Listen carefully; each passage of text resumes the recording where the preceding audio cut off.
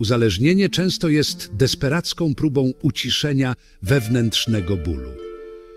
Osoby zmagające się z uzależnieniem często sięgają po substancje lub zachowania uzależniające, aby uciec od emocjonalnego cierpienia. Urok uzależnienia tkwi w jego zdolności do zapewnienia chwilowej ulgi od ciężaru nierozwiązanych problemów.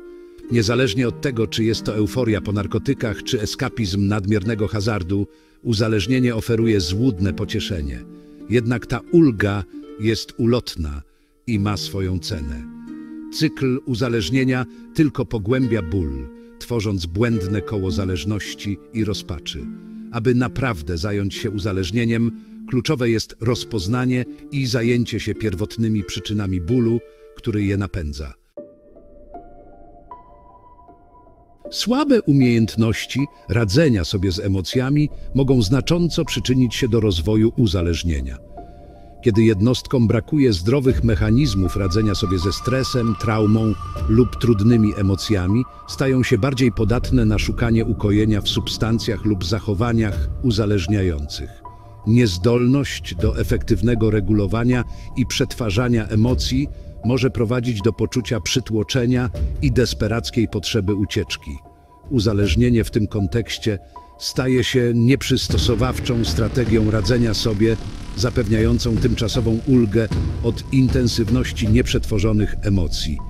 Ważne jest, aby zdać sobie sprawę, że samo uzależnienie nie jest głównym problemem, ale raczej objawem leżącego u jego podłoża cierpienia emocjonalnego i psychologicznego. Uzależnienie to wszechobecny problem, który dotyka miliony ludzi na całym świecie.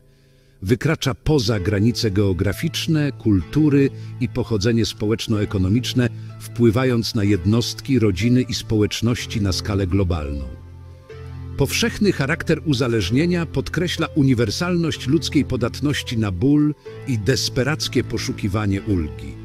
Przerażające statystyki podkreślają pilną potrzebę zwiększenia świadomości, zrozumienia i wsparcia dla osób dotkniętych uzależnieniem.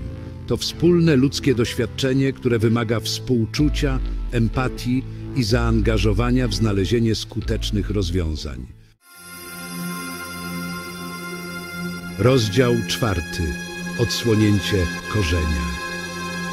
Uzależnienie u jego podstaw nie jest jedynie kwestią siły woli czy porażki moralnej.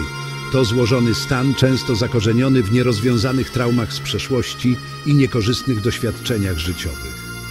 Trauma w swoich różnych formach może pozostawić głębokie blizny emocjonalne, prowadząc jednostki do szukania schronienia w zachowaniach uzależniających, aby stłumić ból lub poradzić sobie z przytłaczającymi wspomnieniami. Zrozumienie powiązania między traumą a uzależnieniem ma kluczowe znaczenie dla opracowania skutecznych metod leczenia, które koncentrują się na przyczynach leżących u podstaw, a nie tylko na objawach. Rozdział 5. Blizny przeszłości. Nieprzepracowane traumy z przeszłości i trudne wydarzenia życiowe mogą mieć głęboki wpływ na ogólne samopoczucie jednostki. Doświadczenia te mogą manifestować się na różne sposoby, w tym problemy ze zdrowiem fizycznym, zaburzenia psychiczne i napięte relacje. Ból emocjonalny i nierozwiązane problemy z przeszłości mogą tworzyć ciągły strumień stresu i negatywności, utrudniając codzienne życie. Rozpoznanie trwałego wpływu przeszłych doświadczeń ma zasadnicze znaczenie dla promowania uzdrowienia i wyrwania się z cyklu uzależnienia. Rozdział szósty. Droga do uzdrowienia. Podczas gdy droga do wyzdrowienia z uzależnienia może być trudna, ważne jest, aby pamiętać, że uzdrowienie jest możliwe. Poprzez zajęcie się leżącym u podstaw bólem emocjonalnym i rozwijanie zdrowych mechanizmów radzenia sobie, jednostki mogą znaleźć trwałe uwolnienie od uzależnienia. Uzdrowienie emocjonalne odgrywa kluczową rolę w tym procesie, pozwalając jednostkom przetwarzać traumy z przeszłości, radzić sobie z trudnymi emocjami i rozwijać silniejsze poczucie własnej wartości. Poprzez terapię, grupy wsparcia i praktyki samoopieki jednostki mogą wyruszyć w drogę uzdrowienia i transformacji, ostatecznie zmniejszając swoją zależność od substancji lub zachowań uzależniających.